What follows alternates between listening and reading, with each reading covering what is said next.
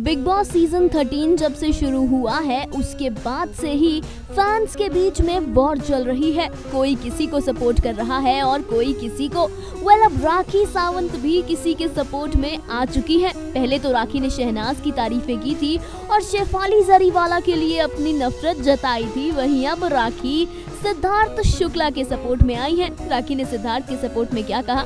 जरा इस वीडियो के ज़रिए देखिए।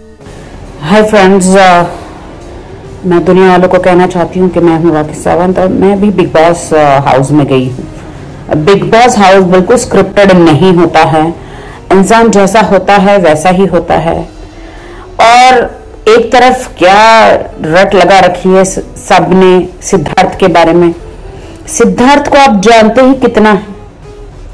बहुत अच्छा लड़का है सिद्धार्थ। बहुत अच्छा लड़का है। अपनी मेहनत से आगे बढ़ा है। और जो भी अपनी मेहनत से आगे बढ़ेगा, उसे कोई इंसान गिरा नहीं सकता, जिसके साथ ईश्वर है। मैं दूसरों के बारे में तो नहीं कहूँगी कौन जीतेगा, कौन नहीं जीतेगा बट मैं ये कहती हूँ, सिद्धार्थ बहुत अच्छा इंसान है। अच्छा इंसान क्या होता पता है? जो सबको रिस्पेक्ट करे। माँ बाप की, दोस्तों की, सबकी रिस्पेक्ट करे। उतार चढ़ाव तो किसकी ज़िंदगी में नहीं आते।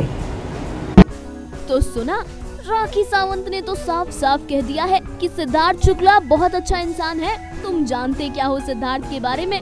वेल हेटर से समझ जाइए, संभल जाइए। क्योंकि हमें लगता है कि अब राखी गुस्से में आने वाली है। Final card entertainment desk